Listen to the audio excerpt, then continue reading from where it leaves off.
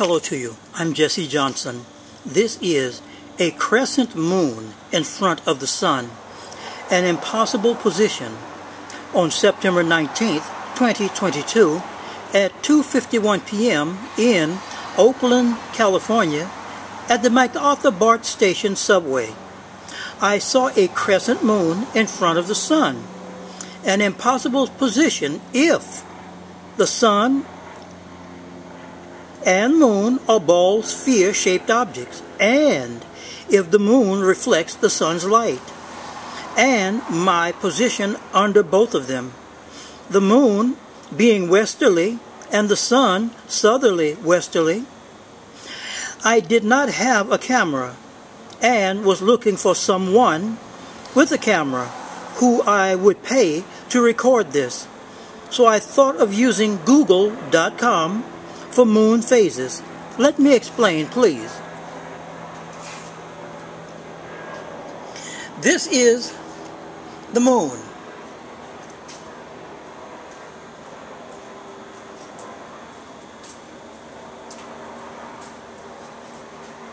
The moon.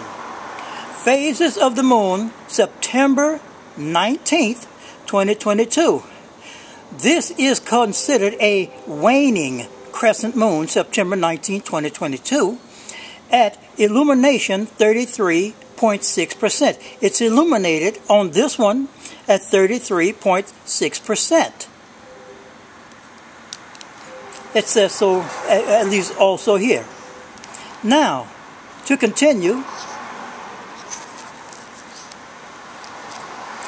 this is also a waning crescent on September 19th, 2022 on a Monday.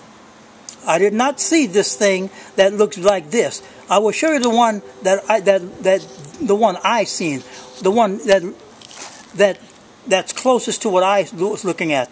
I was looking mainly at this one, a waning crescent, 32.5 percent on the 19th of September.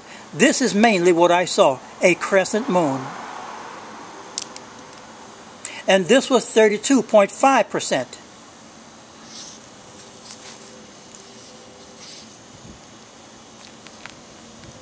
This one here is the moon phase for Monday, September 19, 2022. But on this one, the illumination is 39%. 39% illuminated with a tilt of 23.239 degrees and so forth. Now, the moon phase for September 19, 2022 is considered a waning uh, a waning crescent phase moon. I did not see this one. I saw the other one.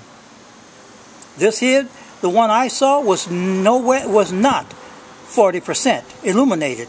In fact, it was much closer to the 32.5% waning crescent. That's what I was looking at. That's why it, it came to me that you cannot have a crescent moon of this type in front of the sun. Now, let me continue. This is basic trigonometry and basic geometry.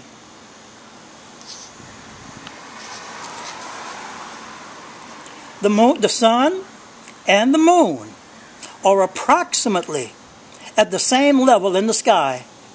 They're approximately 5% to 8% of not being exactly on the same level.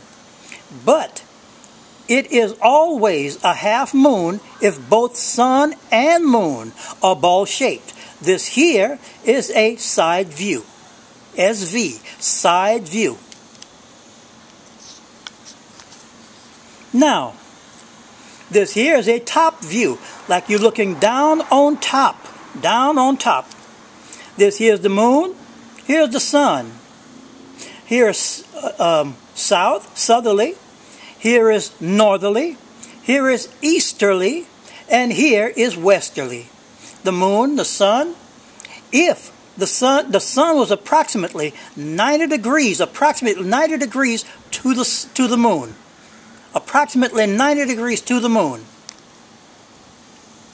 And I was standing, here's the person, that's me, I was standing right next to a signal light post for the cars, a signal light post. And this here represents its shadow. Its shadow was approximately 90 degrees to the moon. So that tells me where the sun is and what the degrees of the sun is. This is September 19, 2022, 2.51 p.m. in Oakland, California at the MacArthur BART station.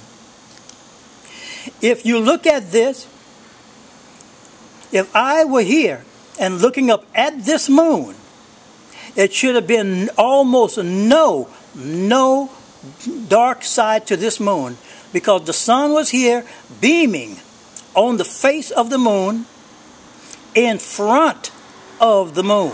In front of the moon. You must grasp that.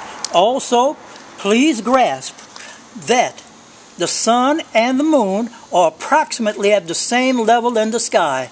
And all of that ball in the front of a light bulb, in the front of a light bulb, won't work on or with the sun and the moon. That's just nonsense preached at universities and colleges. It's not true. This is a top view of if you were looking down on the sun and the moon and the person and the and the signal post and the light signal for cars, light post, signal post. Now, to continue.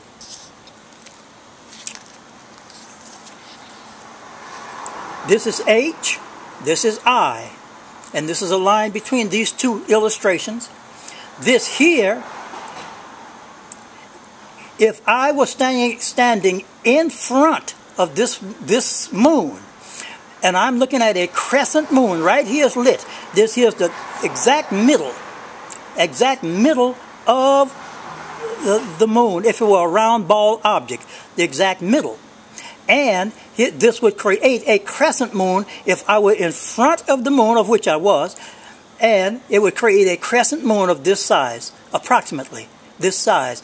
And the sun, the direction of the sun, would be this way, this way. That would be the direction of the sun, and here the sun's rays. This is this would be the back, the back of the moon. I would be in front of it. This would be the crescent moon that I would be looking at. And the back of the moon looks like this. This is west, westerly.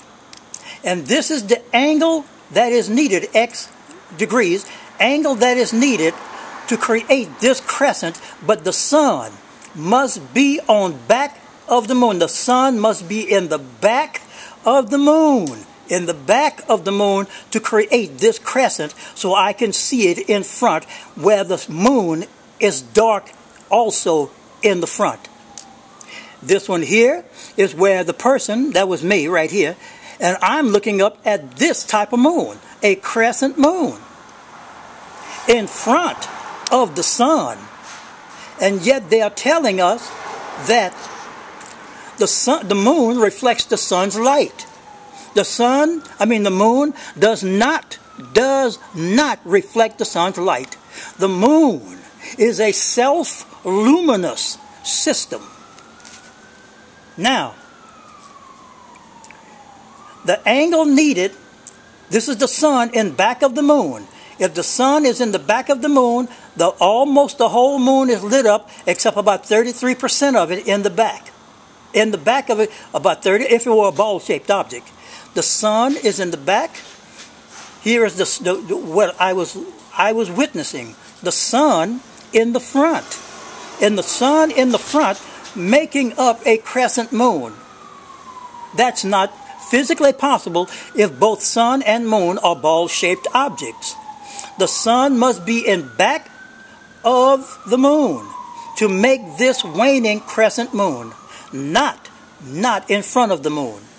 This here's north, this here's south, of course, and here's the person. Here is the shadow of the signal post. Here's the signal post, of course. This is a waning crescent ball moon, September 19, 2022. I'm looking straight up at it. Crescent moon. The sun must be in the back of this, this, this moon in order to create that small crescent, almost in the back of it, up to the side a bit, shining over its, uh, uh, its surface from the back, not from the front. Now, what is this to say? A whole lot. The sun, the moon, better yet, the moon does not reflect the sun's light. Secondly, the moon and the sun are not ball shaped objects. What, what does this come to? It is because they told you that the sun, that it, because the sun would have to be in the back of this moon instead of in the front. This is the political, economic, and educational reversal of scientific fact. To edu- educationally dumb you down and to politically control you and to economically exploit you, the masses of billions of you. This is slavery of the mind. If you can be made into a slave mentally, you can be made into a slave physically. I want to thank everyone for listening and watching and please share this video. Share this video. And we will meet on the next video in a little while from now and some a few days from now. Please have a fine day.